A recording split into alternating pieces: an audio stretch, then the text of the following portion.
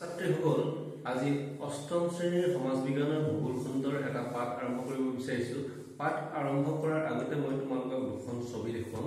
ছবিখনে কি কয় তোমালোকে ধাৰণা কৰা।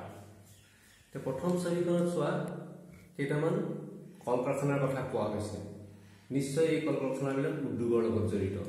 এতিয়া তোমালোকে দ্বিতীয় ছবিখন চোৱা ইয়াত উৰাজাহাজ সুৰংগ ৰেলপথ আকাশী পথ জাহাজ ইত্যাদি দেখুওৱা হৈছে। এই ছবিখনে নিশ্চয় পৰিবহণ ব্যৱস্থাৰ কথা কৈছে। আজি মই তোমালোকক সমাজ বিজ্ঞানৰ পাঠ নম্বৰ ছয় পাঠ নম্বৰ ছয় ভাৰতৰ উদ্যোগ আৰু পৰিবহণ ব্যৱস্থা নামৰ পাঠটো আৰম্ভ কৰি তোমালোকে বহীত পাঠটোৰ নাম লিখি লোৱা ভাৰতৰ উদ্যোগ আৰু পৰিবহণ ব্যৱস্থা। এতিয়া ভাৰতৰ উদ্যোগ আৰু পৰিবহণ ব্যৱস্থা বুলি ক'লে কেনেকৈ আমি আগবাঢ়িম? সাধাৰণতে পৃথিৱীৰ ভূত্বকমণ্ডলত খনিজ পদাৰ্থসমূহ পোৱা যায়। পৃথিৱী প্ৰকৃতিৰ বুকুত মুক্তভাৱে বহু ধৰণৰ মানিক পোৱা যায়। ভূভাগত পোৱা এই মানিকসমূহ খনিৰ পৰা উৎঘাটন কৰা হয় কাৰণেই ইয়াক খনিজ পদাৰ্থ বোলে। এই খনিজ পদাৰ্থবোৰ মানুহৰ বিভিন্ন প্ৰয়োজন পূৰণ কৰে কাৰণে এইবোৰকক খনিজ সম্পদ কোৱা হয়। খনিজ সম্পদৰ ওপৰত ভিত্তি কৰিয়েই ভাৰতৰ উদ্যোগ আৰু পৰিবহণ ব্যৱস্থা গঢ়লৈ উঠিছে। আজি আমি তোমালোকৰ লগত পৃথকে পৃথকে এই বিষয়ে আলোচনা কৰিম। খনিজ সম্পদৰ ভাগসমূহৰ বিষয়ে তোমালোকে প্ৰথমতে বৰ্ডলৈ লক্ষ্য কৰা। খনিজ সম্পদ।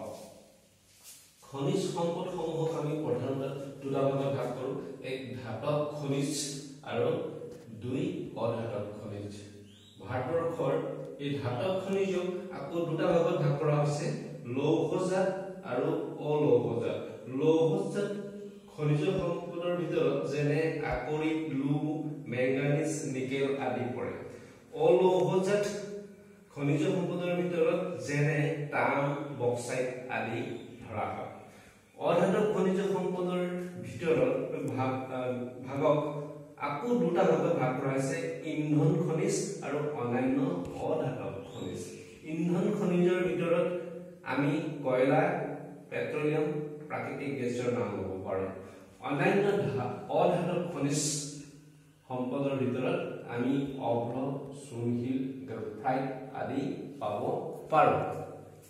ভাৰতবৰ্ষত সঞ্চিত হৈ থকা খনিজ সম্পদৰ বিতৰণ ওপৰত ভিত্তি কৰি ভাৰতবৰ্ষৰ সঞ্চিত হৈ থকা খনিজ সম্পদৰ বিতৰণৰ ওপৰত ভিত্তি কৰি দেশখনক প্ৰধানকৈ ছটা বলয়ত ভাগ কৰা হৈছে।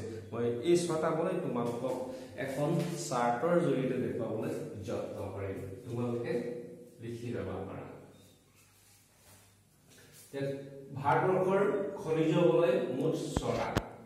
এক নম্বৰ হৈছে উত্তৰ পূব উপদ্বীপীয় বলয় সুকনাগাপুৰ উৰিষ্যাত ঝাৰখণ্ড পশ্চিমবংগত আছিল। ইয়াত প্ৰধানকৈ কয়লা আকৰিক আকৰিক লু তাম পোৱা যায় মধ্য বলয় হৈছে ছত্তীশগড় অন্ধ্ৰপ্ৰদেশ মহাৰাষ্ট্ৰ। ইয়াত বিশেষকৈ মেংগানিজ বক্সাইট মাৰ্বল আদি পোৱা যায়। দক্ষিণ বলয়ত হিচাপে কৰ্ণাটক তামিলনাডু ৰাজ্যত আছে। ইয়াত আকৰিক আৰু মেংগানিজ পোৱা যায়। দক্ষিণ পশ্চিম বলয় কৰ্ণাটক গোৱা আছে। ইয়াত আকৰিক লো আৰু চীনামাটি পোৱা যায়। উত্তৰ পশ্চিম বলয়ত ৰাজস্থান আৰু গুজৰাটত আছে। ইয়াত তাম অভ্ৰ ইউৰেনিয়াম আদি পোৱা যায়। আৰু উত্তৰ পূব তৈল বলয়ত অসমৰ ব্ৰহ্মপুত্ৰ উপত্যকাত আছে। ইয়াত বিশেষকৈ পেট্ৰলিয়াম আৰু কয়লা পোৱা যায়। ভাৰতৰ খনিজ সম- সম্পদসমূহৰ ভিতৰত লু আৰু তীখা উদ্যোগক কেন্দ্ৰ কৰি এই মুখ্য উদ্যোগ গঢ় লৈ উঠিছে আৰু লু আৰু তীখাক মুখ্য উদ্যোগ বুলি কোৱা হয়। লু তীখাৰ উদ্যোগৰ বাবে প্ৰয়োজনীয় কেঁচা মালসমূহ যেনে আকৰিক লু চূণশিল ডলমেনাইট মেংগানিজ আৰু পোৰামাটি ভাৰতৰ প্ৰধান লু তীখা উদ্যোগসমূহ আমি ল'ব পাৰোঁ। জামছেদপুৰ লু তীখা উদ্যোগ ৰুৰগেলা লু লু তীখা উদ্যোগ আদি। তোমালোকে এখন চাৰ্টত তোমালোকৰ পাঠ্যপুথিত আছে ইয়াত আছে ভাৰতবৰ্ষৰ বিভিন্ন স্থানত থকা লু তীখাৰ প্ৰধান প্ৰধান উদ্যোগসমূহ। উল্লেখযোগ্য যে অভ্ৰ অভ্ৰ উৎপাদনত ভাৰত পৃথিৱীৰ ভিতৰত স্থান প্ৰথম কয়লাত তৃতীয় আকৰিক লোট চতুৰ্থ আৰু এলুমিনিয়ামত দশম স্থান ভাৰতবৰ্ষই লাভ কৰিছে। এতিয়া আমি আহোঁ ভাৰতৰ কপাহী বস্ত্ৰ উদ্যোগসমূহ। ভাৰতৰ কপাহী বস্ত্ৰ উদ্যোগসমূহ।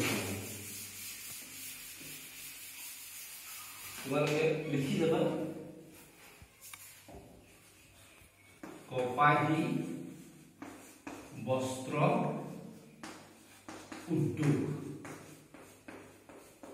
বস্ত্ৰ মানে কাপোৰ। ভাৰতৰ কপাহী বস্ত্ৰ শিল্প অতি পুৰণি।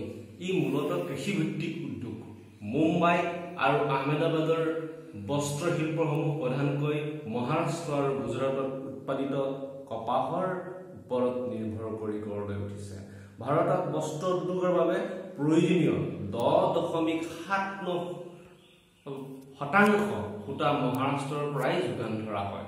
অসমৰ শুৱালকুছি বস্ত্ৰ উদ্যোগ বৰ্তমান ভাৰতবৰ্ষৰ লগতে বিশ্বতো এটা সুকীয়া স্থান পাবলৈ সক্ষম হৈছে। বৰ্তমান ভাৰতৰ কপাহী বয়ন উদ্যোগ উদ্যোগ থকা মুখ্য উদ্যোগসমূহ হ'ল আহমেদাবাদ চোলাপুৰ কোলাপুৰ নাগপুৰ ইন্দোৰা আৰু উজ্জয়িনী। তোমালোকে মানচিত্ৰখনত বস্ত্ৰ উদ্যোগসমূহো চাব পাৰা। ভাৰতবৰ্ষৰ প্ৰধান বস্ত্ৰ উদ্যোগসমূহ তোমালোকৰ পাঠ্যপুথিখনত আছে।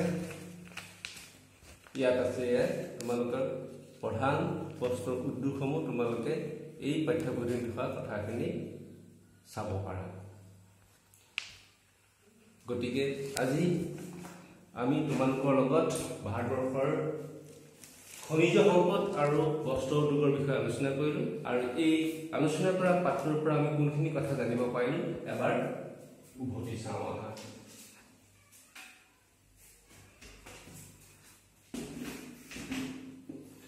আমি কি কি শিকিলো জানো আহা। খনিজ পদাৰ্থবোৰে মানুহৰ বিভিন্ন প্ৰয়োজন পূৰণ কৰে কাৰণে এইবোৰক খনিজ সম্পদ বোলে ভাৰতত সঞ্চিত হৈ থকা খনিজ সম্পদ বিতৰণক ছটা খনিজ বলয়ত ভাগ কৰা হৈছে। উত্তৰ পূব উপদ্বীপীয় বলয় মধ্য বলয় দক্ষিণ বলয় দক্ষিণ পশ্চিম বলয় উত্তৰ পশ্চিম বলয় আৰু উত্তৰ পূব তৈল বলয়। অভ্ৰ কয়লা আকৰিক লোক আৰু এলুমিনিয়ামত ভাৰতৰ স্থান ক্ৰমে প্ৰথম তৃতীয় চতুৰ্থ আৰু দশম। খনিজ সম্পদৰ ওপৰত ভিত্তি কৰি গঢ় লৈ উঠা উদ্যোগসমূহকেই খনিজ উদ্যোগ কোৱা হয়। ভাৰতত ব্লু আৰু তীখা উদ্যোগক মুখ্য উদ্যোগ কোৱা হয়। ভাৰতৰ মুম্বাই আৰু আহমেদাবাদ অঞ্চলত প্ৰধানকৈ বস্ত্ৰ উদ্যোগসমূহ অৱস্থিত। আজি আমি আলোচনা কৰা পাঠটোৰ পৰা। তোমালোকে দুটা গৃহ কাৰ্য লিখি লোৱা। প্ৰথম প্ৰশ্নটো হৈছে ভাৰতবৰ্ষৰ প্ৰধান খনিজ বলয়সমূহ কি কি? অসম কোনোবা খনিজ বলয়ত অন্তৰ্ভুক্ত হয়নে? দুবিধ অসমত পোৱা খনিজৰ নাম লিখা। দুই মুম্বাই আৰু আহমেদাবাদ অঞ্চলত বয়ন বা বস্ত্ৰ উদ্যোগসমূহ গঢ়ি উঠাৰ কাৰণ কি কি লিখা? আশা কৰিছো তোমালোকে পাঠটোৰ কথাখিনি অনুধাৱন কৰি প্ৰশ্ন দুটাৰ উত্তৰ লিখিবলৈ সক্ষম হ'বা।